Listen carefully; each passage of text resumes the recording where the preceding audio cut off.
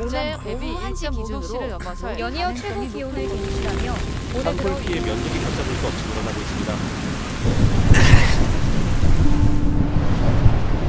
연속된 기상이변으로 인해 전 세계가 매년 재해로 인한 피해가 늘어가고 있습니다. 수 없이 늘어나고 있습니다. 자세한 소식 현장으로 연결하겠습니다. 4년 사이 향후 5년간 산업혁명 이전 대비 1.5도씨를 넘어설 가능성이 높을 것으로 추정했습니다.